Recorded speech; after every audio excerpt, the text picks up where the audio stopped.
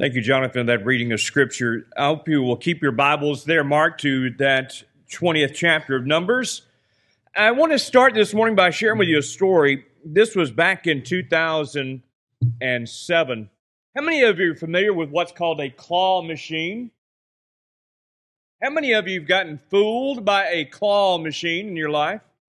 How many of you wasted money on a claw machine in your life? Yeah. I'll never forget, I was preaching up in North Houston at the time, and I got a call from one of my shepherds that his grandson and his family had went out to eat one evening. And during that evening, his grandson asked him for some money to play the claw machine that was located in the front of the restaurant.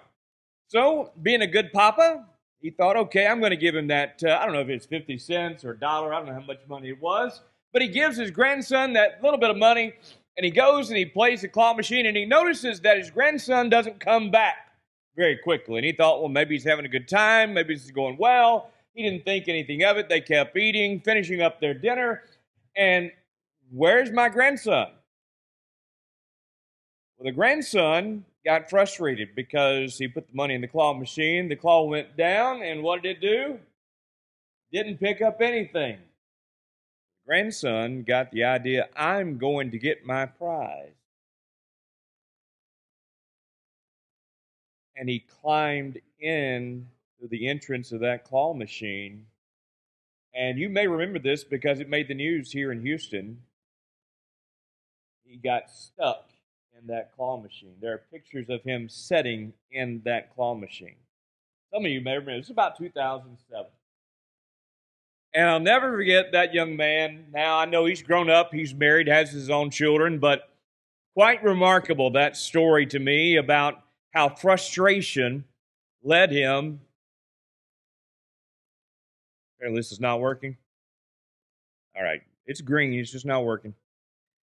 All right, so frustration led him to do something that um, I don't believe under normal, common manner he would have done so. But he did so because he was frustrated because he was not able to achieve his goal. He got so frustrated that he ended up doing something that he shouldn't have done. And of course, in that situation, he got stuck. Our sermon today deals with a subject that I think many of us in this room can relate to, and that is the subject of frustration. One dictionary defines frustration as the feeling of being upset or annoyed, especially because of inability to change or achieve something. And they put this particular word, frustration, in a sentence. I sometimes feel like screaming with frustration. Another source compared frustration with anger. Anger is like setting off an explosion of emotion, but frustration is more like a slow burn. And of course, I think we all can relate to the fact if your frustration lasts long enough, there's likely an explosion of anger not too far behind. And what we're going to see from our text this morning, Moses had been leading these Israelites through the wilderness for around 40 years. And it seems like every time he turned around, they were quarreling, they were grumbling, and they were complaining. You remember back when they reached the Red Sea? When Egypt's chariots were close behind them, the people said to Moses, Exodus 14, by the way, was it because there were no graves in Egypt that you brought us out into this desert to die? What have you done to us by bringing us out of Egypt? Didn't we say to you in Egypt, Leave us alone, let us serve the Egyptians? It would have been far better for us to serve than the Egyptians than to die in this desert. Exodus chapter 16. Later, they complain about the food that they ate. It tells us the whole congregation of the people of Israel grumbled against Moses and Aaron in the wilderness. And the people of Israel said to them, Would that we had died by the hand of the Lord in the land of Egypt when we sat by the meat pots and ate bread to the full. For you have brought us out into this wilderness to kill this whole assembly with hunger. Exodus chapter 17. Then they complain about the water. The people quarreled to Moses and said, Give us water to drink. And Moses said to them, Why do you quarrel with me? Why do you test the Lord? But the people thirsted there for water, and the people grumbled against Moses and said, Why did you bring us up out of Egypt to kill us and our children and our livestock with this thirst? So Moses cried to the Lord, what shall I do with this people? They are almost ready to stone me. And then, when they're about to enter the very promised land, they do it again. Numbers chapter 14, verse 2 All the people of Israel grumbled against Moses and Aaron. The whole congregation said to them, would that we would have died in the land of Egypt, or would it that we have died in this wilderness? These people over and over and over again grumbled, complained, murmured, and I believe that God's word warns us about this very practice. Quite simply, it tells us do not do that. 1 Corinthians chapter 10, verses 9 and 10, we must not put Christ to the test as some of them did and were destroyed by serpents, nor grumble as some of them did and were destroyed by the destroyer. But every time Moses would turn around, it seemed like these people were constantly nipping at his heel. And it got so bad that at one point Moses begins to even complain to God. Numbers chapter 11, look at verse 11 and 12. Moses says to God, Why have you brought such trouble on me, your servant? Why are you angry with me? And why do you burden me with all these people? Did I conceive all these people? Did I give birth so that you should tell me, carry them at your breast as a nursing woman carries a baby to the land that you swore to give to their fathers? In other words, church, Moses, this whole situation, it was extremely frustrating. And Moses' frustration finally got to the point where, like I've heard people say, I have had enough of this. He was so frustrated, so irritated with them that he did what he should not have done. Now, church, let's stop right here. Let's be honest with yourself. Have you ever acted in a wrong way because of the frustration that you felt about a situation, about a circumstance, about the behavior of another person? Have you ever been so overwhelmed by frustration that you did or said something that you should not have done or said? Has that ever happened to you? But I want to really ask the question here what did Moses do that was wrong?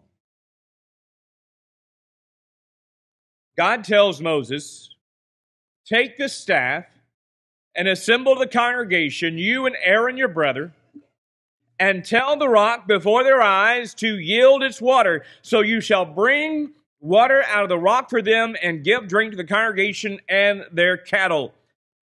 And Moses took the staff from before the Lord as he commanded him. So he so far, is he doing what he's been asked to do so far? Yes. He's taken the staff that God has commanded him. Then Moses and Aaron gathered the assembly together before the rock, and he said to them, Hear now, you rebels. Shall we bring, shall we bring water for you out of this rock? Don't forget that word we. And Moses lifted up his hand and struck the rock with his staff twice and water came out abundantly, and the congregation drank and their livestock. And the Lord said to Moses and Aaron, Because you did not believe in me, to uphold me as holy in the eyes of the people of Israel, therefore you shall not bring this assembly into the land that I have given them. Now I've asked you to be honest. Now let me be honest with you. There are several views traditionally that are put forth about this passage of what Moses did wrong. You may have heard sermons in your past preached about this particular passage, and you may have heard various preachers or scholars give you an answer as to what Moses did wrong. Some people believe God is angry with Moses because Moses did not follow his instructions. You ever heard that? Moses was supposed to speak to the rock, but instead he struck the rock not once, but twice. And apparently he struck it in anger, calling the people what, church? Rebels. Maybe, just maybe, there's something to that. But I think, honestly, there's more going on here. Folks, God told Moses that he did not uphold God as holy. Do you see that? What's that mean? Well, notice what, what, what Moses said. Again, he said, Hear now, you rebels, shall we, circle that we in your Bible, Shall we bring water for you out of this rock? See, in that moment, Moses did not proclaim the most important thing that was in play here in this moment. God was in charge, but Moses did not proclaim God's power, did he? He proclaimed his own. You folks want to grumble and complain at me well, just let me show you what I can do. And in his frustration with these Israelites, maybe for just a moment, he forgot about God and he focused on himself. You know, the more I've studied this incident over the last 20 years of my life, the more it's made clear to me that Moses' sin was not that he became frustrated. Let me tell you, church, if it was inherently sinful to become frustrated, then we'd all be in trouble. No, his sin was not that he became frustrated. His sin was, and listen, here it is, he allowed his frustration to take control of him and then he sinned due to that respect and reaction to frustration. He behaved in a way that was sinful because he let his frustration get the better of him. There's all kinds of frustrations. For example, there's small things. Like getting stuck in traffic. Isn't that a little frustrating? Or you go outside to mow your lawn and you pull or you turn. If you're if you're me, you pull, right? Because I, I, couldn't afford those ones with a switch on it. You pull and you pull and you pull, and your lawnmower it just won't crank. That's frustrating. That's a that's a small frustration. Or what about this? Your parents, you ever get frustrated having to pick up somebody else's dirty laundry? Small things can frustrate us. But again, it's not the frustration, it's how we respond to the frustration, right? That's what makes a difference. The way we respond to our frustration. If it causes us to lose our temper in the process, or curse under our breath or out loud, then it's headed in a direction you do not need it to go. Again, church, hear me out here. It's not the frustration, because I know that there are times where we become frustrated and we begin to think less of ourselves spiritually. But again, it's not the frustration, it's how we respond. And even small frustrations can lead us to sin. What about big, though? Let's talk about some big frustrations. Now, I'm not talking about traffic jams or broken lawnmowers or somebody's dirty pair of underwear on the floor. I'm not talking about that anymore. I'm talking about those big frustrations. What about that annoyance that just does not go away? What if there are frustrations that keep staring you in the face day after day? Week after week, month after month, year after year, this frustration just will not go. I'm not talking about the frustration that you're married to, so don't go that direction this morning. I'm talking about the frustrations that really bug us. And the reason why they bug us is because we realize we can't fix them. We can't change them. We can't control them. And we cannot get away from it. Keep in mind, this is kind of like the Israelites who were always quarreling with Moses just like those Israelites, these big frustrations continually show their presence in our life.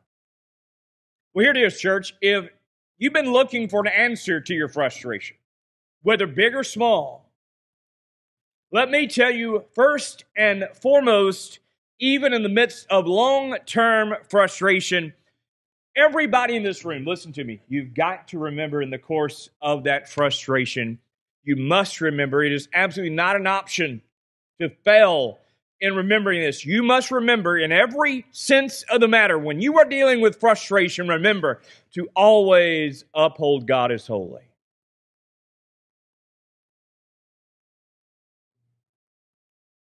When frustration brings you to a boiling point where you are tempted to set aside the holy life that God has called you to.